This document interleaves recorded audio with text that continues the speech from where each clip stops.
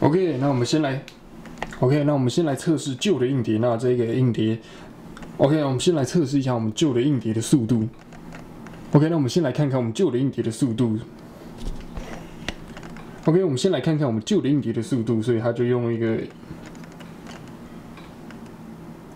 OK，那我们先来测试一下我们。OK，我们先来测试一下我们旧的硬碟的速度。那它的值，我们先来测试一下我们旧的硬碟的速度。那它直接用。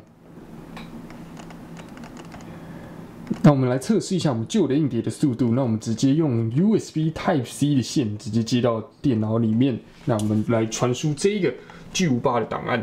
Oops。